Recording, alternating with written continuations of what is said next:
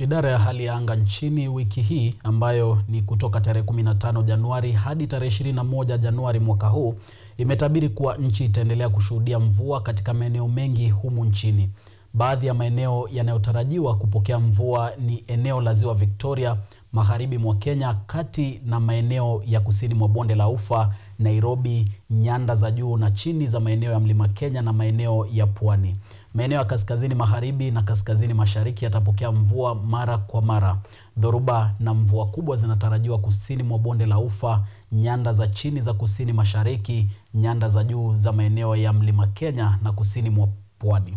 Idara hiyo imewataka Wakenya kuwa waangalifu ili kuhakikisha usalama wao.